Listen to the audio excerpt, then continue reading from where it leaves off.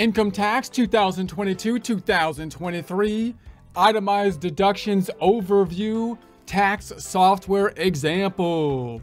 Let's do some wealth preservation with some tax preparation. Here we are in our example form 1040 populated with Lacerte tax software. You don't need tax software to follow along, but it's a great tool to run scenarios with. You can also get access to the Form 1040 related forms and schedules IRS website irs.gov, irs.gov. Support accounting instruction by clicking the link below, giving you a free month membership to all of the content on our website, broken out by category, further broken out by course. Each course then organized in a logical, reasonable fashion, making it much more easy to find what you need than can be done on a YouTube page. We also include added resources such as Excel practice problems, PDF files, and more like QuickBooks backup files when applicable. So once again, click the link below for a free month membership to our website and all the content on it. Starting point, as usual, single filer. We've got Mr. Anderson, no dependents, 100,000 on the W2 income, 12,950 standard deduction gets us down to the bottom line taxable income, 87,050. We're mirroring that on our formula in Excel, 100,000. We've got, that's the wrong button, 12,950 87,050. And then the software doing the calculation on page numero two, 14,774, uh, 15,000 withholding, gets us to the bottom line 226. So there is our mirroring of that. Back on over. Now we want to think about the itemized deductions. So note that remember, uh, when you're looking at the itemized deductions, they're intimately related to the standard deduction because we need to clear the standard deduction before we're able to take the itemized deduction. So in practice, if we're talking to clients that are nowhere near being able to clear the standard deduction through brilliant deduction, then we don't really have to worry about the categorizations on the itemized deductions. And we want to keep in mind those categories and what they are anyways, because when they ask us about it, we want to be able to say, yeah, well, that's an itemized deduction, and you might not be able to take the itemized deductions because they're not going to be clearing the standard deduction. We also want to keep in mind the major things that usually help people to clear the standard deduction, that being a home purchase, oftentimes a home purchase in a fairly high cost of living area where a high mortgage was taken out because it's the interest and the property taxes on the home that often are the big items pushing people over from taking the standard deduction to the itemized deductions. You want to be careful also of recommending that people purchase a home simply to be able to itemize because it's more complex than that, as we'll talk about when we get to like the home mortgage interest and uh, the, the, the state taxes. But that's often something that they might hear from like mortgage brokers and stuff so you want to have maybe a more nuanced perspective of that from uh, the tax side of things because it will most likely come up.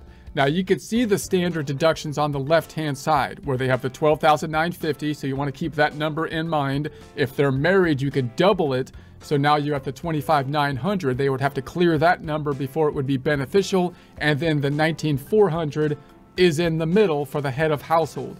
Note that if they're over 65 and or blind, we have another set of rules, which you can see on the Form 1040SR, and they're on the last page of it. And that means if they're single, then, then you're gonna add one, so now they're up to 14.7. If they were uh, over 65 or blind, and then if they're both, it would be 16.450 married, it would be up to uh, 27 three if one of the married people were over over 65 and so on. You can see these different combinations. And uh, in our worksheet, we've shown that down here. These are our standard deductions they would have to clear. And then if they were over uh, if they were over 65 or blind, we would add if they were single or head of household this amount and married this amount for each of those components.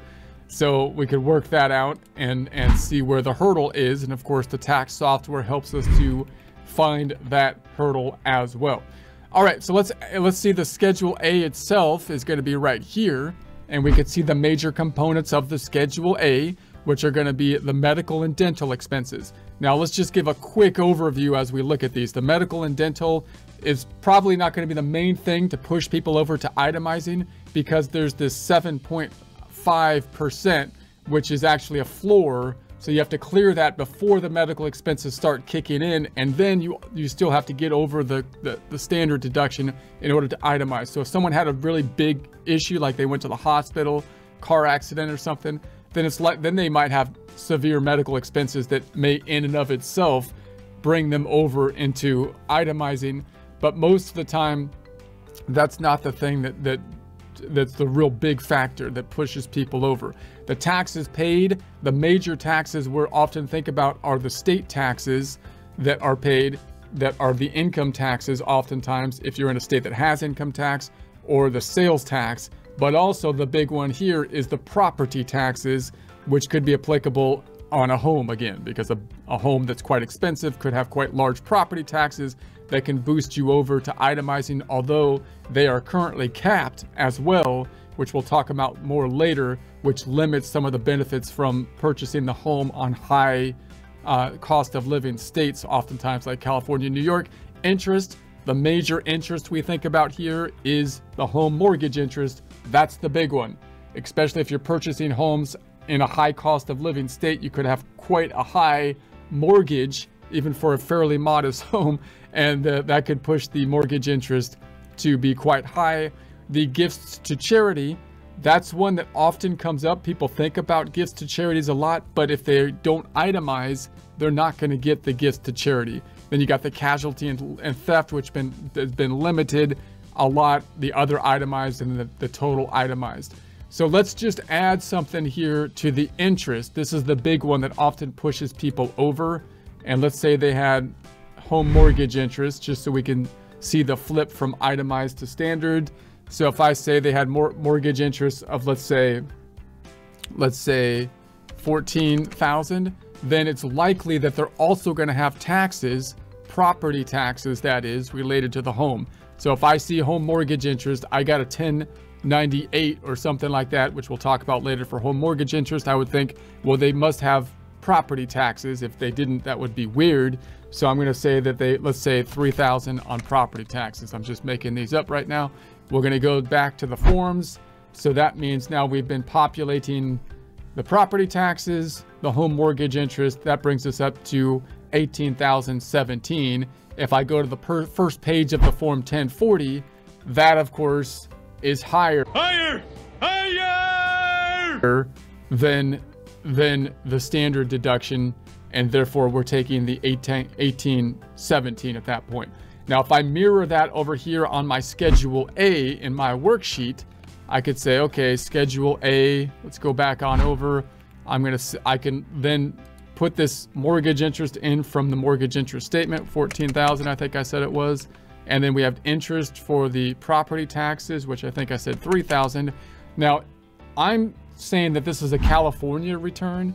So that means I'm also going to have some other kind of taxes, meaning uh, I'm either going to have state income taxes or I'm going to have, uh, or I'm going to have uh, sales tax. So the software is currently calculating this tax right here for the for the sales tax. So that's something that oftentimes you might be reliant on the, so on the software to help you out to calculate. And every time you make a change, you might have a change to like the tax calculation for the state taxes. So I'm going to say 1017 and I'm just going to plug that in and let the software do it. And that will then come out to my total of the 1817. Uh, Going back to the first page of the form 1040, now I've got the itemized deductions at the 1817. The standard deduction is currently at the 12950. It's taking the greater of the two because I have my max formula here. So it's taking the 1817.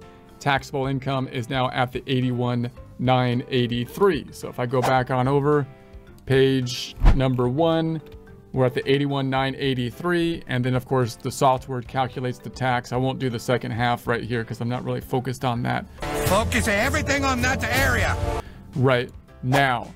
So there's that. So once you once you've cleared the hurdle, then of course, you're saying, okay, now you're itemizing. Now it might be worth diving into the medical and dental expenses because you might get an actual benefit from it. Although it's kind of a double edged sword with this one, with your income going up, because it's usually higher income individuals that are more likely to be taking the standard, the itemized deduction instead of the standard deduction. Uh, but this one has a 7.5 floor on it. So they have to clear that before it even starts to add into their to their itemized deductions and the higher their income then the the bigger that floor is the hurdle that they have to clear. So we'll talk more about that later. But then you might say, well, it might be worthwhile for you to, to add up all your medical expenses where it wouldn't have been if you were nowhere near itemizing. And then it might be worthwhile to now add up all your charitable contributions, right? Because now uh, you're getting a deduction for it. So let's just put in a couple charitable contributions. We'll say that we have 4,000 charitable contributions. Let's say we'll just throw that number in there. And so now we've got the 4,000. Now, if we were nowhere near itemizing, then, you know, that it's still good to give charity, but, but it wouldn't be pulling over uh, into, into here generally in that case.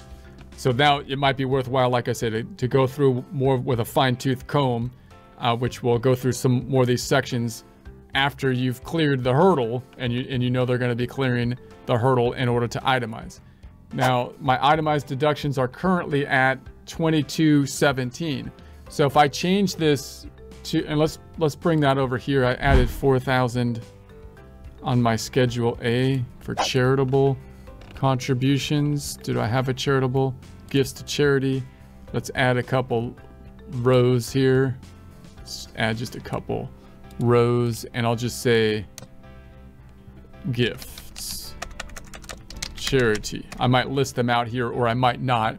So if I list them out, I might want more, more rows than this, but I'm going to say total uh, gifts to charity, sum it up outside.